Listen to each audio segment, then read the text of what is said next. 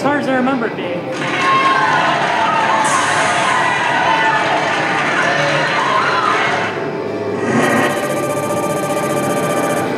Can I call you a dancing master? So pretty much I didn't want to get this version before I got the original, so I held off on it.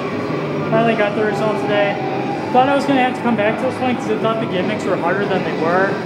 But I played it and I'm just like, oh, there's just one somewhat tricky gimmick, but it's not even that hard.